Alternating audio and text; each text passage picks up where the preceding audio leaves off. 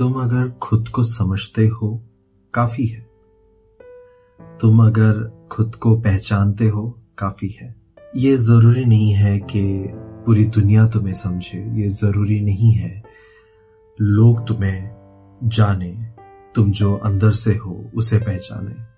Only if you know yourself you understand yourself it is okay it is good let's ask this question why अगर हम ये सवाल पूछेंगे क्यों, उसका जवाब ये है, जब तक हम खुद को नहीं समझ लेते, तब तक हम ये नहीं समझ पाएँगे, लोग हमें क्यों नहीं समझते till the time we don't understand our self we won't be able to know why people don't understand us it is very necessary to know our faults.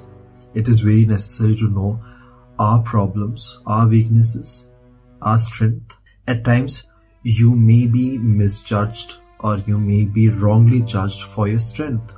People may consider that's your weakness, but you know it. It's not. That's my strength. And people may consider you some other person thinking that your weaknesses are your strength, which you may not be. You would be completely different person.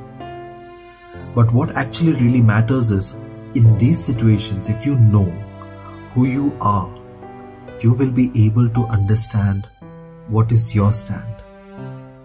Where do you stand in that crowd? And that will make you a different person, a distinct person, a completely another human being, which you never thought of. Till then, you only understood that you were uh, one among that crowd and the moment and the day you understand yourself, you will be knowing that though you stand in that crowd, you're not one among them. You're different. And that difference really matters.